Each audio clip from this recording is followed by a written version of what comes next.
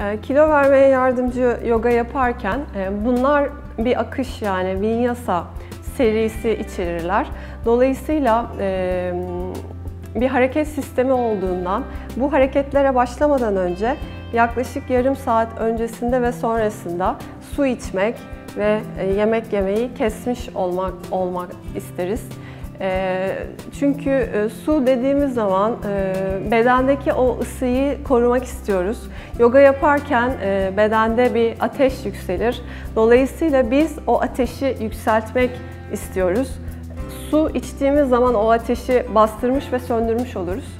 Dolayısıyla su içme ve yemek yemeyi yarım saat önce bitirmiş olmamız gerekiyor.